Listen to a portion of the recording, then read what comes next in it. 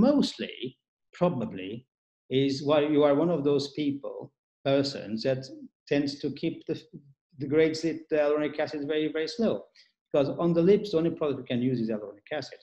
So I'll advise you is to remove it, try to, to dissolve that, that, that lumpiness. And sometimes the lumps are just very superficial and some, just with a needle prick, you can squeeze them out and let it stabilize and be even. And then you start rebuilding again from scratch. Because if you try to add fillers on top of something that is not well, you're gonna have the symmetry again, and that lumpiness is not going away. It just can get even worse. But that's usually not a skin reaction to your to the fillers.